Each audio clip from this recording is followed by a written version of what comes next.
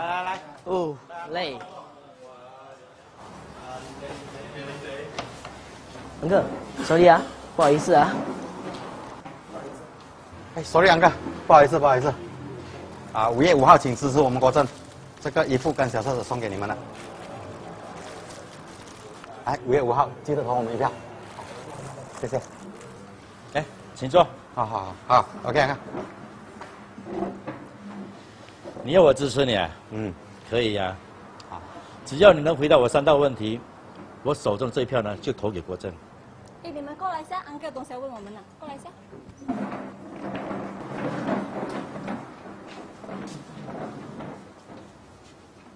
啊，安哥有什么问题？第一，如果我投给明联，国政会担心吗？第二，如果我投给明年，贪污会害怕吗？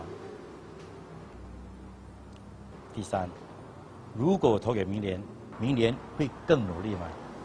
王哥，你懂什么是政治吗？不是这样的。在马来西亚的华人同胞，我们需要的是什么东西？你们这一班年轻的华人子弟需要的东西又是什么？你们懂吗？王哥，当然懂啦，要稳定，不要乱。马来西亚华人需要的东西，你们达不到，没有关系，我来给你们答案，那就是教育、治安跟机会。首相说要一个马来西亚要团结，大哥你知道吗？小弟弟，马来西亚独立多少年？你告诉我。现在讲团结，过去几十年都做不到，现在全部人在讨厌的时候才讲团结。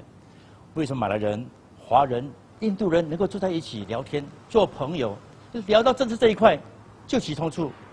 首相讲，他们现在正在转型，让国家变得更好，但不一定要换政府的吗？你们认为政府真的能够转型吗？从前任许多州务大臣的贪污、养牛事件。照明福事件、出口燕窝等事件，报纸条条头版。我们可爱的、亲爱的首相，没什么表态。到汽油大道收费等种种问题，都没有妥善安排。如何谈转型？安哥，国政换了那么多的年轻候选人，给他们多五年时间，他们一定做得更好。五年吗？Five years，你们等，OK？年轻人，你是华人，我就用华语跟你讲。你知道什么叫做换汤不换药吗？下面的人都换了，全部都是人才啦。上面的还不是我们的毛华总会长蔡希丽、徐子根、魏家祥有用吗？你们懂什么叫 LBBL 吗？这样你们所谓的人才，还是重复在做他们做不到事情，决定权还是在中央政府的手上，对吗？懂吗？明白吗？有多少个政治人物能够像当时的副部长，那都是李文世杰。为了教育基金从三万变三千的贪污案，对抗郑部长，到头来连竞选的机会都没有。而能力不及他的农业副部长蔡志勇，却有机会上阵了。我们全体马来西亚人民要的是为人民做官的官，而不是那些想要做官的官。你以为全体马来人、华人、印度人、土著他们真的不懂吗？是不是你们现在支持的年轻人，正延续着那些无能上司所做不到的事情？那个要换政府啊，会乱啊！你看，我们要的是稳定，不要乱。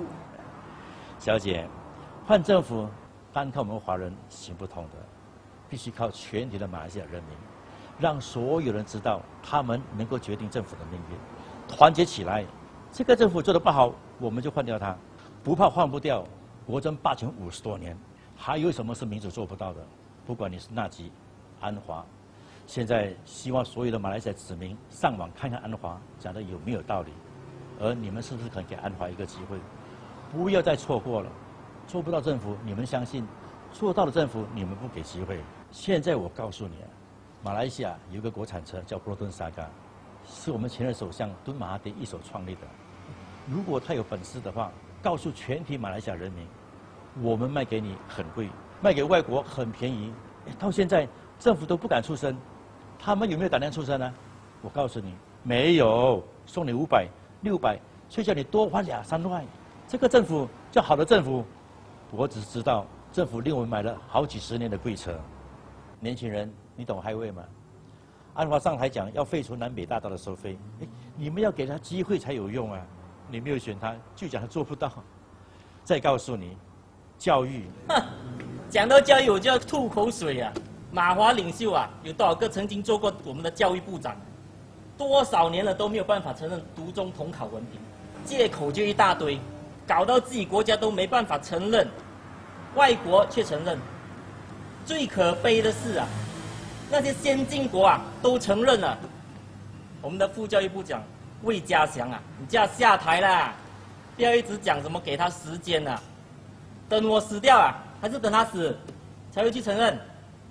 还有我们的教育部长穆尤丁啊，也不要在这个时候啊，说什么关注我们的议题啊，什么协商什么的啊，在大选的时候才讲这种东西，没有用了。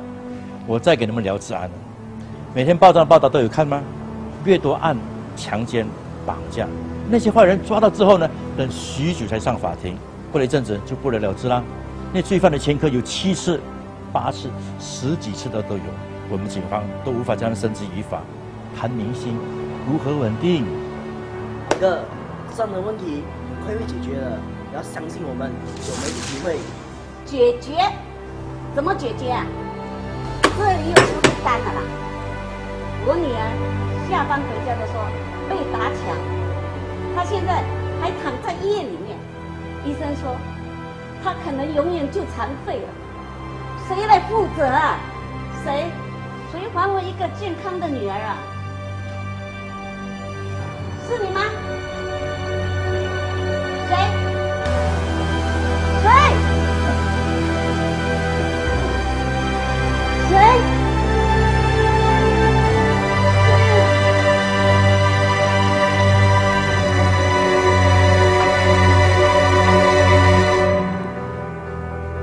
来西亚政府朋党主义、腐败滥权，已经是众所周知的事情。最后，年轻人，我不是喜欢明联，我也不讨厌国政，而是要告诉你，我们一定要懂得，这个政府不好，我们一定要换掉它。那些国政的支持者和家里有做官的人，一定要用良心来啊。我手中这一票呢，就要投给我孩子的未来，我们的下一代年轻人，马来西亚的未来就靠你们了。